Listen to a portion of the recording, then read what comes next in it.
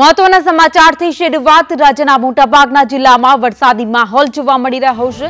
સવારે દસ વાગ્યા સુધીમાં એકસો તાલુકાઓમાં વરસાદ નોંધાયો છે. સમગ્ર દક્ષિણ ગુજરાતમાં ભારે વરસાદ વરસી રહ્યો છે. ભરૂચના વાલિયામાં છ ઇંચ વરસાદ નોંધાયો છે. તો ભરૂચના નેત્રંગમાં પાંચ ઇંચ વરસાદ ખાબક્યો. સુરતના ઉમરપાડામાં ચાર ઇંચ, જ્યારે વલસાડમાં પોણા ચાર ઇંચ વરસાદ અત્યાર સુધીમાં નોંધાયો છે. વાપીની વાત કરીએ, વાપીના પલસાણામાં ત્રણ ઇંચ વરસાદ, પાંચ તાલુકામાં બે ઇંચ કરતા વધુ વરસાદ નોંધાયો છે. પંદર તાલુકામાં એક ઇંચ કરતા વધુ વરસાદ વરસ્યો છે. જ્યારે એકસો તાલુકામાં સામાન્યથી એક ઇંચ સુધી વરસાદ નોંધાયો છે. તો મેઘરાજાએ દક્ષિણ ગુજરાતને ગમરોળ્યું છે. દક્ષિણ ગુજરાતમાં ધોધમાર વરસાદ વરસી રહ્યો છે. ત્યારે સવારના દસ વાગ્યા સુધીમાં એકસો ચુમ્વાલીસ તાલુકાઓમાં વરસાદ નોંધાયો છે, જેમાં સૌથી વધારે વરસાદ દક્ષિણ ગુજરાતના જિલ્લાઓમાં વરસ્યો છે. પાંચ તાલુકાઓમાં બે ઇંચ કરતા વધારે વરસાદ નોંધાયો છે.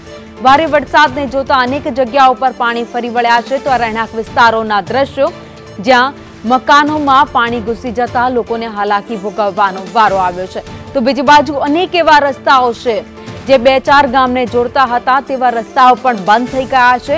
તો આજે મંગળવારનો દિવસ છે. ઓફિસે જતા લોકોને પણ હાલાકી પડી રહી છે કારણ કે સોસાયટીઓ હોય, રસ્તાઓ હોય, તમામ જગ્યાઓ પર પાણી ભરાયેલા છે.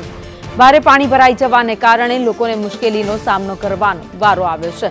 જો કે અત્યારે ફરી એકવાર મેઘરાજાએ તોફાની બેટિંગ શરૂ કરી છે અને દક્ષિણ ગુજરાતમાં અવિરત વરસાદ નોંધાઈ રહ્યો છે.